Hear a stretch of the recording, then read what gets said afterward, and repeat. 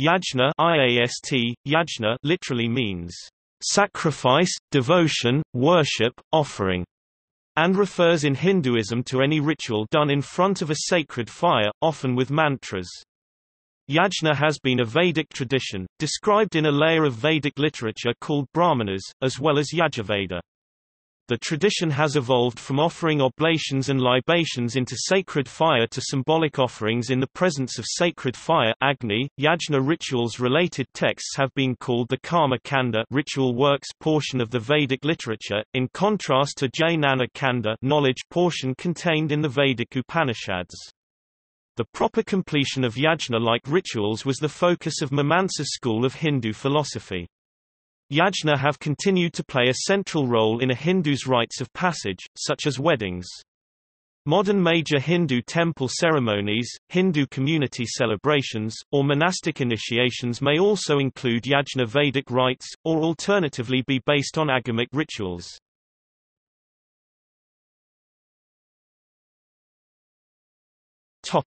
Etymology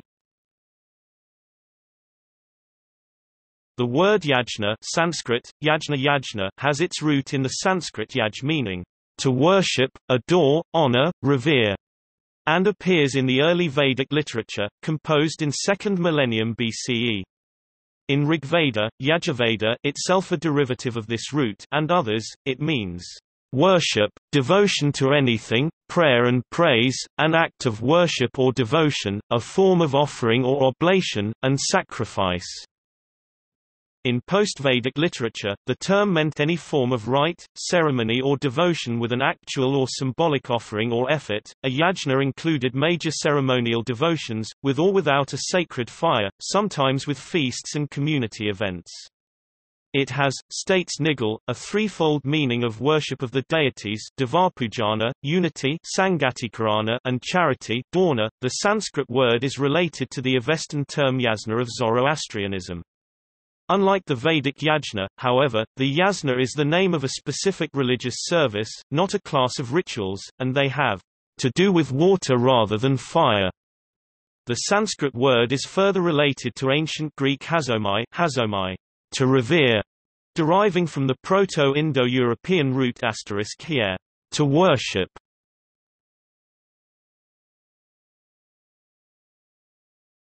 Topic: History Yajna has been a part of an individual or social ritual since the Vedic times. When the ritual fire, the divine Agni, the god of fire and the messenger of gods, were deployed in a yajna, mantras were chanted. The hymns and songs sung and oblations offered into the fire were a form of hospitality for the Vedic gods.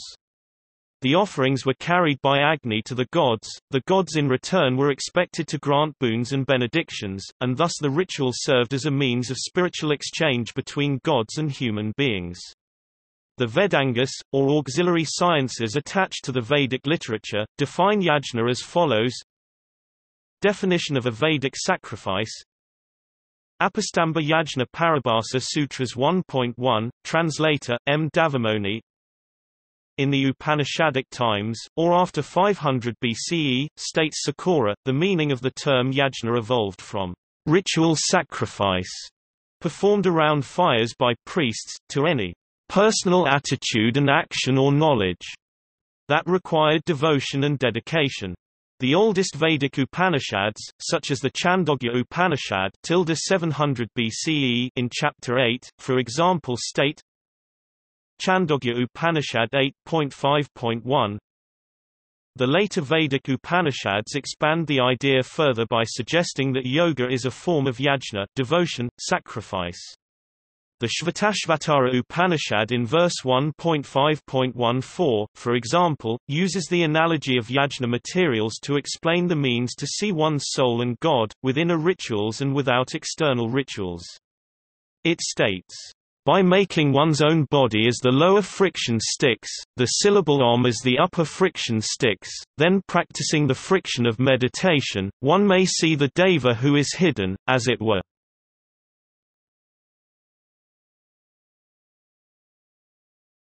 Topic: Protocols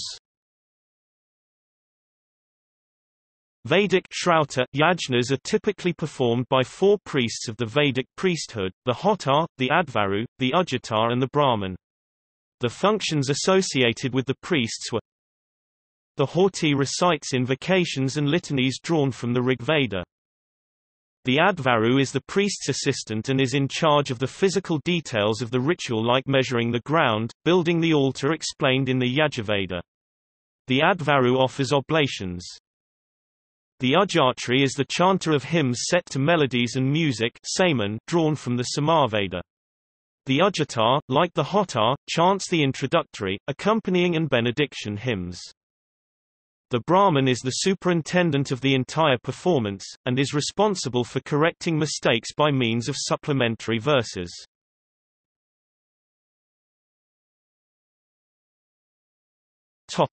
Offerings and style There were usually one, or three, fires lit in the center of the offering ground. Oblations are offered into the fire. Among the ingredients offered as oblations in the yajna are ghee, milk, grains, cakes and soma. The duration of a yajna depends on its type, some last only a few minutes whereas, others are performed over a period of hours, days or even months.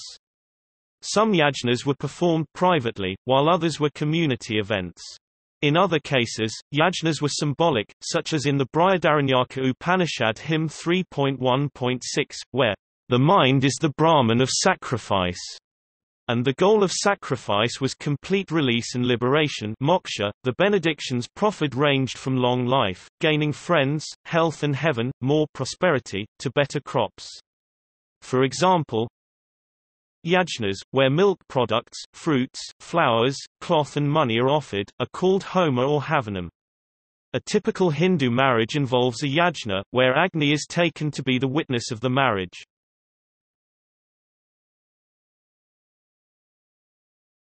Topic. Methods The Vedic yajna ritual is performed in modern era in a square altar called Vedi, Bedi in Nepal, set in a mandapa or mandala or kundam, wherein wood is placed along with oily seeds and other combustion aids. However, in ancient times, the square principle was incorporated into grids to build large complex shapes for community events. Thus a rectangle, trapezia, rhomboids or large falcon bird altars would be built from joining squares. The geometric ratios of these Vedi altar, with mathematical precision and geometric theorems, are described in Shulba Sutras, one of the precursors to the development of mathematics in ancient India. The offerings are called samagri or yajaka, istam. The proper methods for the rites are part of Yajurveda, but also found in riddle hymns, hymns of questions, followed by answers in various brahmanas. When multiple priests are involved, they take turns as in a dramatic play, where not only are praises to gods recited or sung, but the dialogues are part of a dramatic representation and discussion of spiritual themes. The Vedic sacrifice yajna is presented as a kind of drama, with its actors, its dialogues, its portion to be set to music, its interludes, and its climaxes. The Brahmodya riddle hymns, for example, in Shatapatha Brahmanas chapter 13.2.6, is a yajna dialogue between a Hoti priest and a Brahmin priest, which would be played out during the yajna ritual before the attending audience.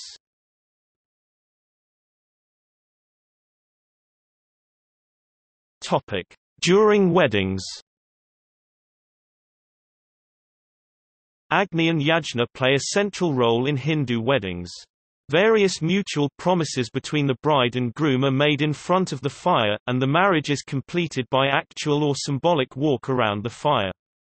The wedding ritual of panigrahana, for example, is the holding the hand ritual as a symbol of their impending marital union, and the groom announcing his acceptance of responsibility to four deities, Bhaga signifying wealth, Aryama signifying heavens, Milky Way, Savita signifying radiance, new beginning, and Purandhi signifying wisdom. The groom faces west, while the bride sits in front of him with her face to the east. He holds her hand while the Rig Vedic mantra is recited in the presence of fire. The Saptapadi, Sanskrit for seven steps, feet, is the most important ritual in Hindu weddings, and represents the legal part of Hindu marriage. The couple getting married walk around the holy fire Agni, and the Yajna fire is considered a witness to the vows they make to each other.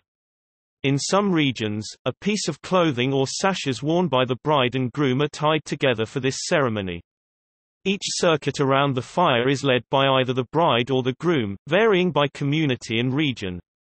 Usually, the bride leads the groom in the first circuit. The first six circuits are led by the bride, and the final one by the groom. With each circuit, the couple makes a specific vow to establish some aspect of a happy relationship and household for each other. The fire altar or the yajna kunda is square.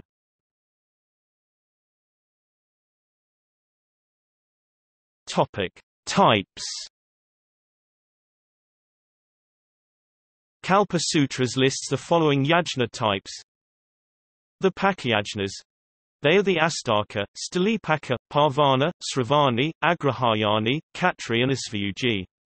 These yajnas involve consecrating cooked items.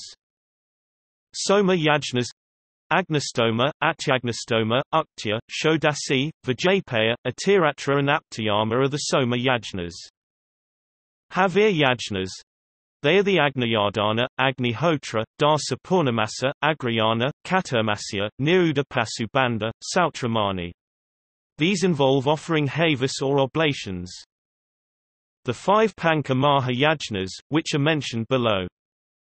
Vedavratas, which are four in number, done during Vedic education. The remaining 16 yajnas, which are one-time samskaras or rituals with mantras, a sanskara rite of passage, Garbhodana, Pumsavana, Simanta, Jatakarma, Namakarana, Annaprasana, Chudakarma, Kala, Niskramana, Karnavedha, Vidyarambha, Upanayana, Keshanta, Snataka and Vivaha, Nisheka, Antaishti. These are specified by the Grihya Sutras.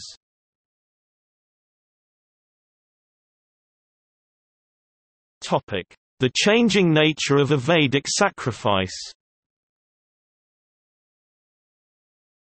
The nature of Vedic sacrifice and rituals evolved over time, with major changes during the first millennium BCE, changes that influenced concepts later adopted by other traditions such as Buddhism.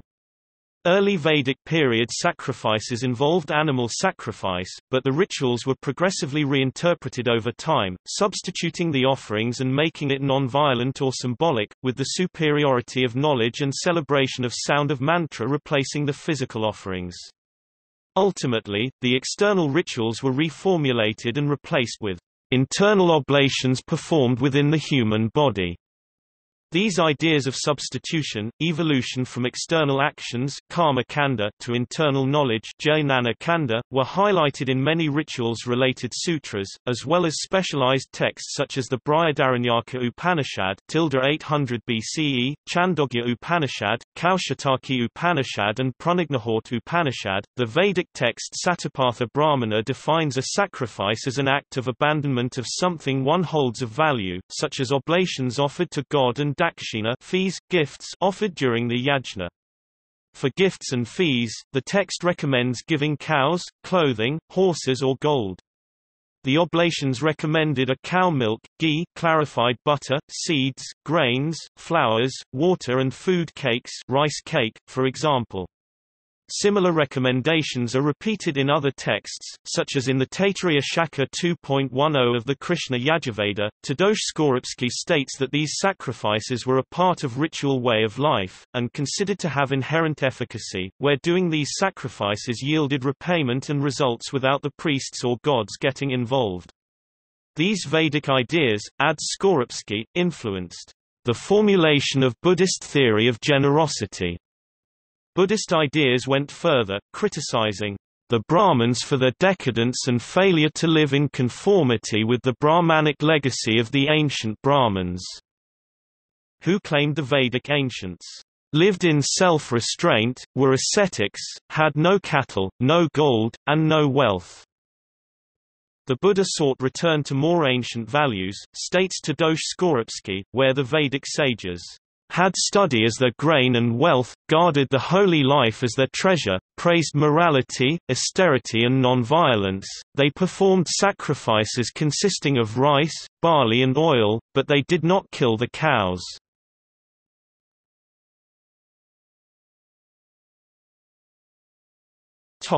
See also Notes